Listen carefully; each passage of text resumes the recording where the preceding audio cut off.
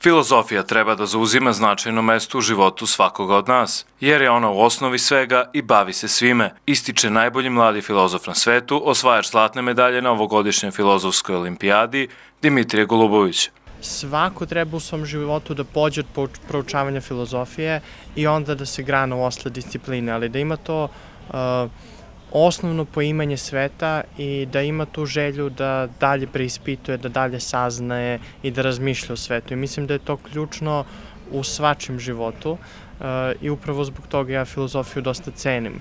I ova zlatna medalja je meni važna kao neka vrsta potvrde da uh, sam se filozofijom bavio uh, dovoljno da se bavim na ispravan način, da tako da kažem, ali i potvrda da mogu da učinim mnogo. Dimitrije je svojim uspehom na filozofskoj olimpijadi uspeo da poveća interesovanje svojih vršnjaka za filozofiju.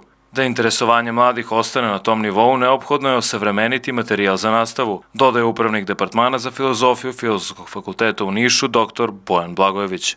Kako naše društvo propada i moralno i vrednostno, da se paralelno s tim marginalizuje i ukida zapravo nastava filozofije iz svih srednjih stručnih škola, a da se u gimnazijama, dakle, smanjuje taj broj časova, da se program nastave filozofije, um, da je to zastarao program, da ne ide, ne ide u skladu jednostavno sa, sa, sa vremenom, da ovaj, učbenici iz filozofije su i dalje zastareli. Logika, filozofija i etika veoma su važne discipline kojima treba pridavati veći značaj kako bi mladi ljudi izgradili ispravan sistem vrednosti, navodi dekanica Filozofskog fakulteta u Nišu Natalija Jovanović.